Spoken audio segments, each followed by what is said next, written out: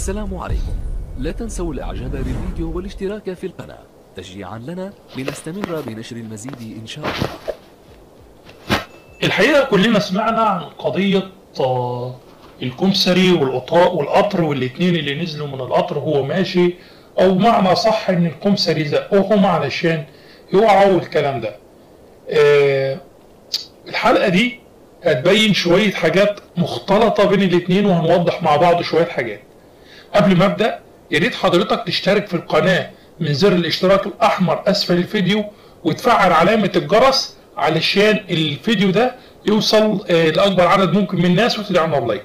طيب يا ريت الناس تشير الفيديو ده عشان الفيديو يوصل للناس كلها ويبقى ترند والناس تعرف الحقيقة كويس. آه، خلصت التحقيقات والنيابة اتحفظت على الكوبسري والولد اللي نط مع زميله واتصاب قال في التحقيقات نفس كلام الكمسري تقريبا. ركز معايا. الكمسري قال إنهم متعودين يركبوا بدون تذكرة.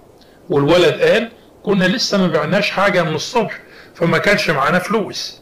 الكمسري قال له قلت لكم مش هسمح لكم تقعدوا في القطر بدون تذاكر. الولد قال نفس الكلام. قال مش هتقعدوا في القطر في القطر. الكمسري قال طلعوا البطايق. قالوا مش معانا بطايق. قال لهم خلاص لا تذكرة ولا بطايق هسلمكم للشرطة. الولد قال عن موضوع التذكرة وتسليمهم للشرطة بس. آه ما قالش عن موضوع البطايق. طيب الكمسري قال فتحت الباب علشان القطر بعد ما اتحرك كان بيهدي. فشفته بيهدي ليه؟ ففوجئت بيهم غفلوني ونطوا من القطر وهو ماشي. الولد قال خفنا منه يسلمنا للشرطة فنطينا بسرعة من الباب بس زميلي رجلي خان- خانته ونزل تحت العجلات. لغاية كده تمام ومفيش اختلاف يشكر. بس في حاجة يمكن محدش ركز فيها. الولد اللي توفى الله يرحمه طبعا لما الكمسري قال يا تدفع يا تسلم للشرطة راح مزعق وبأسلوب البياعين اللي أنتوا عارفينه قال إيه هو القطر ده مفهوش رجالة ولا إيه؟ الكلمة دي معناها إنه كان بيحاول يستفز الناس اللي موجودة في القطر ضد الكمسري مش معناها إن الناس تدفع لهم ثمن التذكرة لأن الناس عارفة أسلوب الباعة الجائلين والبلطجة وده قطر حجز مكيف وكله ناس على قدر من الرقي قطر في اي بي فسابوا الكمسري يتعامل معاهم لأنهم مش هيدخلوا نفسهم في قصة ما لهمش فيها وعارفين نهايتها كويس. لأن القصة دي بتتكرر في كل القطارات ألف مرة في اليوم. ومش كل بائع هيطلع يبلطج على الكمسري الناس هتدفع له ثمن التذكرة. وخصوصا إن التذكرة غالية في القدر ده في القطر ده. ال- القطر ده في اي بي التذكرة غالية في القطر ده كمان. لكن مش علشان هم الناس آه، سلبية ولا ما عندهمش رحمة ولا إنسانية ولا كل الكلام ولا الهري اللي بيتقال ده. تمام؟ آه، أنا حطيت نفسي مكان الناس اللي راكبة دي.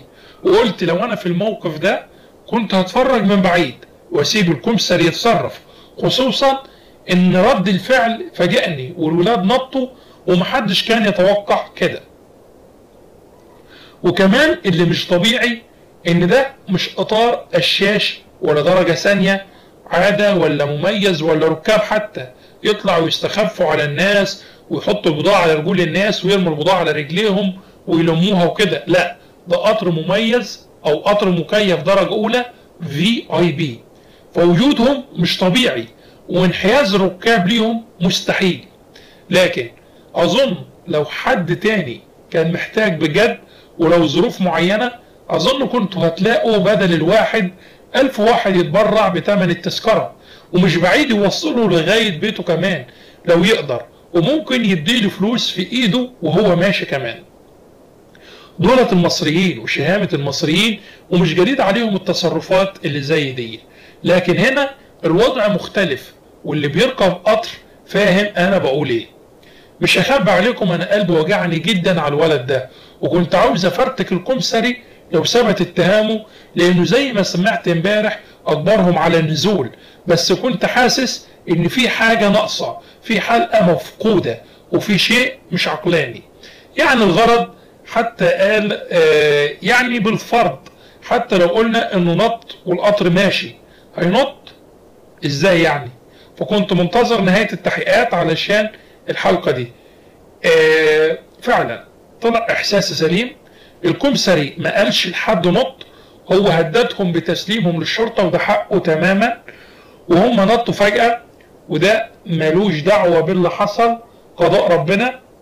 آه علشان كده قلت لكم الصبر آه وفي النهاية الدولة اتحركت واتخذت إجراء ومحدش تقاعس والهري اللي ملوش أي لازمة وكامل الوزير خط أحمر وشكرا لكامل الوزير على كل حاجة عملها آه صح. طيب آه المنشور ده كان نازل على الفيسبوك. كان في بعض التعليقات على المنشور ده على الفيسبوك. بعض التعليقات دي كانت هزلية وسخرية وبعض التعليقات كمان كانت آه بترفع من روح آه كامل الوزير معنويا ومن روح القيادة. طيب هقول لحضراتكم بعض التعليقات أو بعض الكومنتات. آه الأستاذ أحمد مبارك بيقول الشاب ده ما اتعلمش ما توظفش ليه؟ معهوش إيه استفز الناس ليه؟ بيبيع بالقطار ليه؟ تعود يركب ليه؟ اشمعنى المرة دي والقطر فتح بالصدفة ليه؟ ونطوا ليه؟ وخايفين من الشرطة ليه؟ وسمحت ليهم يركبوا بدون تذكرة ليه؟ دول لو إرهابيين كانوا فجروا فيكم والشنط كان فيها قنابل؟ أبو كريم بيقول العيب على القطر كان ماشي بسرعة. آه السيد توفيق بيقول لا نبرر الخطأ غير مسموح بفتح الباب في غير المحطات الرسمية. لا تكون ملكية أكثر من المالك. نعم أنا بأيدك في النقطة دي. والأستاذ عماد عبد الرحمن بيقول كفاياكم تبريرات وتلميع في منظومة فاشلة ضحاياها كل يوم ما بين قتيل ومصاب وحوادث مأساوية. أتفق معاك. أستاذ أحمد عبده بيقول أنا نسيت موضوع الباب ولا إيه؟ أنت نسيت موضوع الباب ولا إيه؟ الباب مقفول والكمسري أصر إنه يجيب المفتاح ويفتح الباب. الأستاذ عادل مبارك بيقول آه عبيله واديله. الفريق كامل الوزير خط أحمر. طيب الأستاذ بلبل الشرقة بيقول الشهود كلهم شهدوا بغير كده. السواق جاب المفتاح علشان ينزله والقطر ماشي بسرعته والناس عتبوه. قالوا يروحوا في ستين داهية. اللي كاتب ال post ده بيروج للكذب وحرام عليكم أنتوا مش في قلبكم رحمة.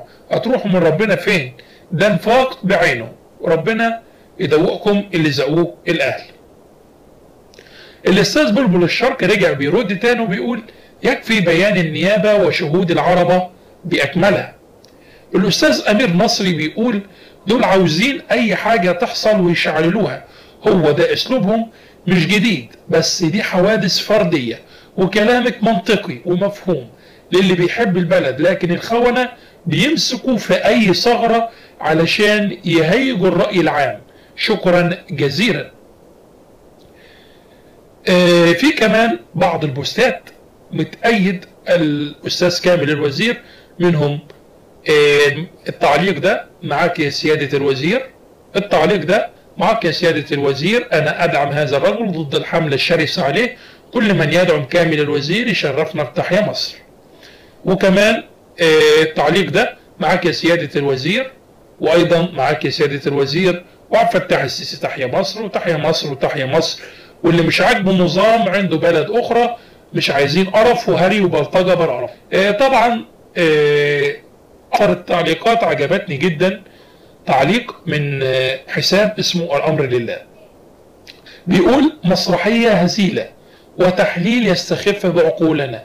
اتق الله مع كامل احترامي للوزير كامل.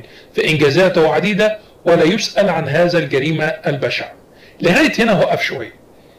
آه الأستاذ كامل الوزير الفريق كامل الوزير فريق محترم وليه إنجازات كبيرة. ودي زي ما قلنا غلطة فردية. ربما يكون المتسبب بنسبة 70% هو الكمسري و30% للباع الجائلين. لكن إحنا لو هنحلل الموضوع ككل يبقى اللي غلطان كليا البائع. طيب هو ده قطر VIP المفروض إن بائعين جائلين تخش القطار ال VIP ما هو حاجة ما تعقلش برضه آه برضو الأستاذ جمال الزغبي بيقول الباب المقفول واتفتح إزاي يا فندم جده فيصل بيقول طب دخلوا المكيف إزاي؟ وفتحوا الباب ليهم يدخلوا يبيعوا صح؟ وهو ده برضو اللي أنا بتكلم عليه. أم حازم بتقول لو تعلمتم احترام القوانين وتطبيقها ما كان حصل ده. فعلا لو إحنا بنتعلم ده ما كانش حصل كل ده. شكرا لكم على المتابعة أتمنى أن يكون الفيديو عجبكم. شكرا لكم وإلى اللقاء.